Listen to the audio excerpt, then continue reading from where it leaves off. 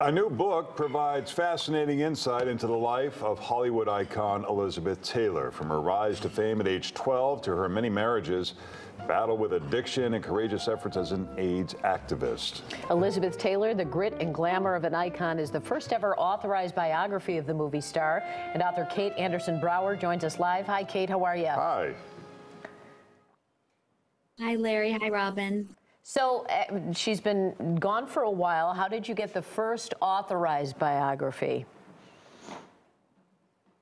I came to this book through my friendship with Senator John Warner, um, who was her sixth husband, and um, he wanted a younger generation to to know what a, a gritty and glamorous woman she was, and so he put me in touch with her family, and they said they were ready for a journalist to go through her diaries and letters and reveal um, who she really was, because I think we all think we know her, but this book reveals sides of her that we didn't before Well, and we have to remember there's a whole generation out there that maybe knows her name but doesn't really get the, you know her backstory. What is it that made her so great, and what surprised you about you know being that journalist to dig into that?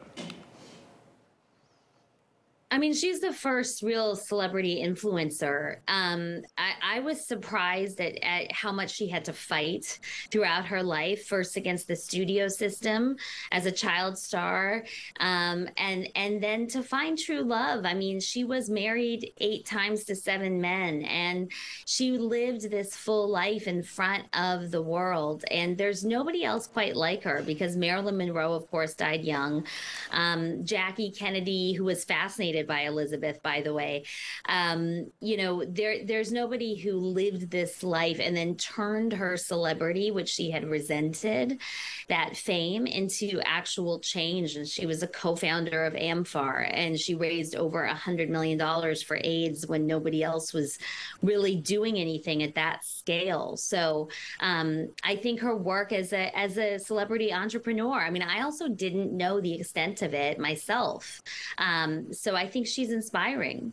What you had access to some unpublished letters that no one has seen. What did you find there? I found a woman who was very vulnerable. She was very multifaceted. And in these letters, especially to Richard Burton, you know, she's kind of begging him in certain uh, cases to stay together. And then they had this passionate love affair and they, you know, would love each other and then they couldn't stand the sight of each other the next day. And then they had all of this fame and then all this pressure and then this entourage that would follow them everywhere. And so some of the letters are really beautiful and passionate. And some of them are really difficult to read, where Richard is telling her, I can't stand this life anymore. I need, you know, he says, I, I walked into a store the other day and bought something with my own money, and nobody was with me. And it was so liberating.